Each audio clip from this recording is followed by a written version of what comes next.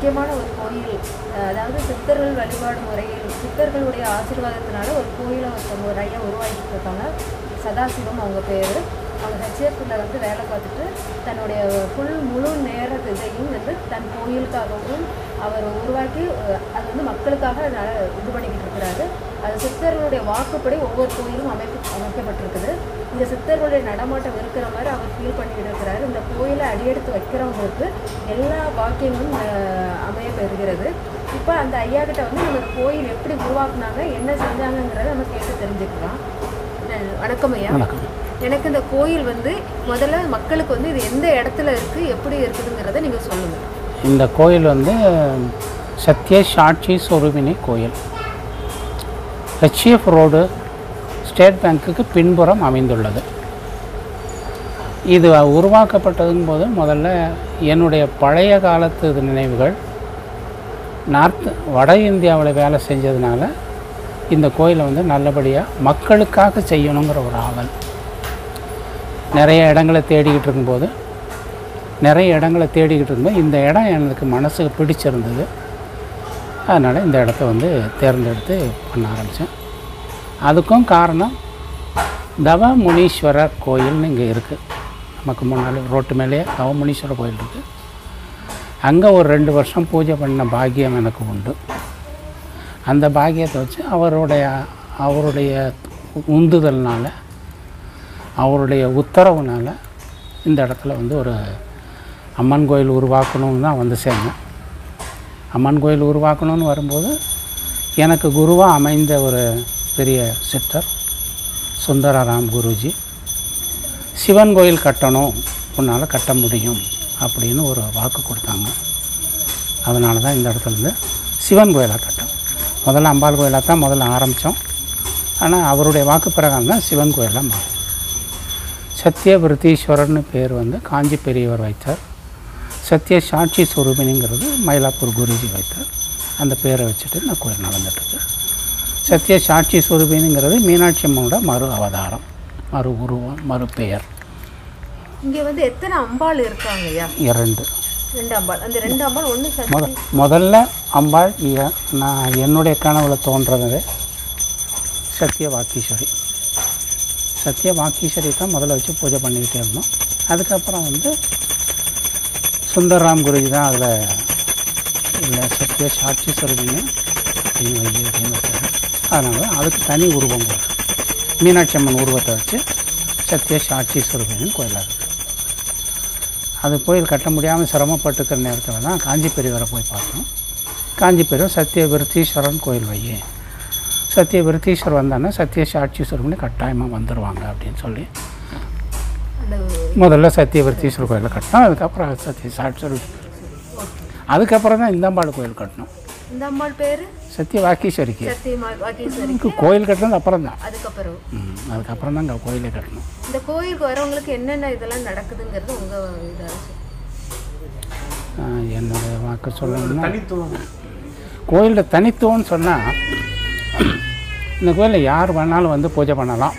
அதான் தனித்துவம். ஆண்களாக இருந்தால் மஞ்சள் வேஷ்டி மஞ்சள் துண்டு கட்டி பூஜை பண்ணலாம் அபிஷேகம் அர்ச்சனை எல்லாமே பண்ணிக்கலாம். பெண்களாக இருந்தால் மஞ்சள் சேலை மஞ்சள் ப்ளவுஸ் போட்டு எல்லாருமே போய் அம்பாள் கிட்ட போய் பூஜை பண்ணலாம். எல்லாருமே அம்பாள் டீம் போகலாம் சிவன் டீம் போகலாம். அம்பாள் அலங்காரம் கூட எல்லாரும் பண்ணலாம். அபிஷேகமாக பண்ணலான்னு அப்புறம் அலங்காரம் இருந்தது. அபிஷேகமாக பண்ணியாச்சுன்னா அப்புறம் அலங்காரம் தனியாக இருக்கு ஆ. அபிஷேகம் பண்ணியாச்சுன்னா அலங்காரம் பண்ணி அர்ச்சனை பண்ணி எல்லாம் பண்ணிக்கலாம். எல்லாம் சிவனுக்கும் எல்லாரும் அபிஷேகம் சிவனுக்கு அதே மாதிரி தான் இந்த கோயில்ல வந்து நீங்க தினமும் அன்னதானம் வந்து மக்களுக்கு இது பண்றீங்களா? எத்தனை பேருக்கு போடுறீங்க? இங்கே தினம் அன்னதானங்கிறது டெய்லி அன்னப்பிரசாதம் கொடுக்குறோம். எனக்கு அன்னதானம் பண்ணக்கூடிய தகுதி என்கிட்ட இல்லை. ஈஸ்வரனோட அன்னப்பிரசாதத்தை எல்லாருக்கும் கொடுக்குறோம். ஒரு நூற்றம்பது பேர் வந்து டெய்லி பிரசாதம் வாங்கிட்டு போ சாப்பிட்டு போகிறாங்க ஆரம்பித்து ஒரு பதிமூணு வருஷம் ஆயிடுச்சு இப்போ. முதல்ல பௌர்ணமி பூஜைக்கு அன்னப்பிரசாதம் கொடுத்துருந்தோம். பௌர்ணமி பூஜை அன்னப்பிரசாதம் கொடுத்தோம். அதுக்கப்புறம் அமாவாசையும் சேர்த்தோம். அதுக்கப்புறம் இப்போ நித்திய அன்னதானங்கிற அன்னப்பிரசாதங்கிறத ஒரு பதிமூணு வருஷமாக செஞ்சுட்ருக்கோம் கோயிலுக்கு வந்த உடனே திருப்பு முறை ஆமாம் இந்த கோயிலுக்கு வந்த பிறகு மக்களுக்கு என்ன மாதிரி விஷயங்கள் திருப்புமுனையாக அமைஞ்சிச்சு? விருத்தி அடைஞ்சாங்க. அதோடைய விஷயங்கள் இது நான் சொல்லணும்னா குழந்தையிலேன்னு வந்தாங்க. பாக்கீஸ்வரிக்கு அபிஷேகம் அர்ச்சனை பண்ண சொல்லுவேன். குழந்தை உண்டாயிரும். இது எல்லா கோயிலும் நடக்கிறது? தான் நார்மலாக ஒரு இது ஒன்றும் தனிப்பட்டது இல்லை. அதே மாதிரி வேலை இல்லைன்னு வர்றாங்க. இங்கே கற்பா விநாயகர்னு ஒருத்தர் இருக்கிறாரு. அவருக்கு அபிஷேகம் பண்ண சொல்லுவேன். இருபத்தொரு நாளுக்குள்ளே வேலை கிடச்சிரும்.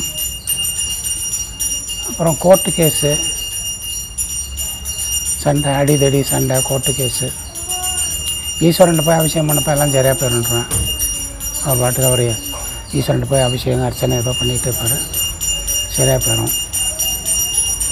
ஹார்ட்டு பேஷண்ட்டு உடம்புக்கு சரியில்லை ரொம்ப கஷ்டப்படுறாங்க. ஈஸ்வரன் போய் உட்காரு. டெய்லியும் ஒரு அரை மணி நேரம் உட்காரு. போதும்.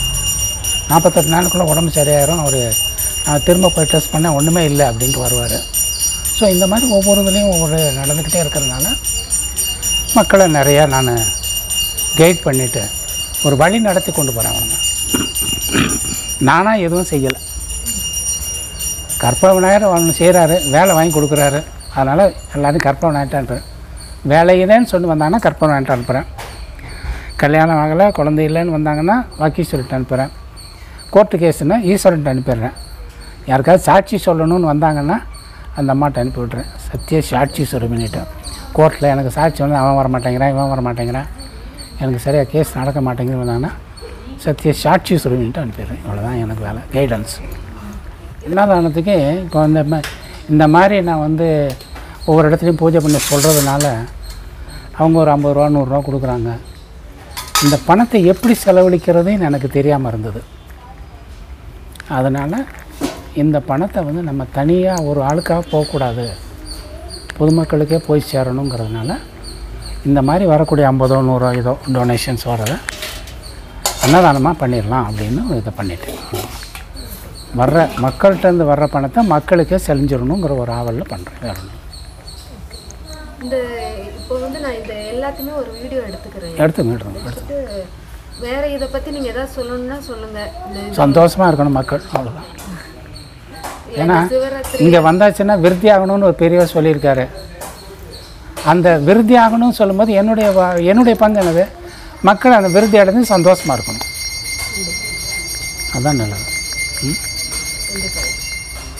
நன்றி ஐயா. நன்றி. ஆ சொல்லுங்கள் என்ன அது? இந்த சாமியாருங்கெல்லாம் இது இது இது எடுக்க மாட்டாங்க பிச்சை எடுப்பாங்க அதனுடைய ஓடு. அந்த ஓடு பழமாக காய்க்கும் அது வந்து கிழ கடைஞ்சி அந்த ஓடு எடுத்துப்பாங்க. திருவோடு. திருவோடா. ரெண்டு பழம் காய்ச்சி. அண்ணாமலை திருவண்ணாமலையிலேருந்து ஐயா கிட்ட பா பாவாடை சித்தர்னு ஒருத்தர் கொடுத்தாரு. Okay okay. சின்ன கடை பத்து வருஷம் முன்னாடி. இந்த மரத்தையா? இது ரொம்ப அதிசயமான மரம் இது கிடைக்காது இல்லை? கிடைக்காது.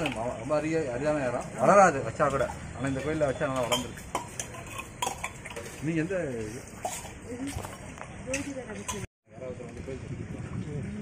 கண்டிப்பாக